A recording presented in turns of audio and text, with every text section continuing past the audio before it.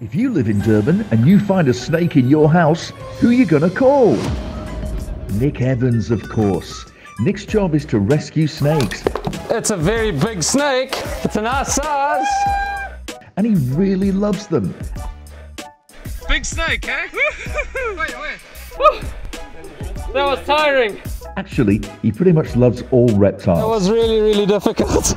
Watch Snake Season coming soon to People's Weather.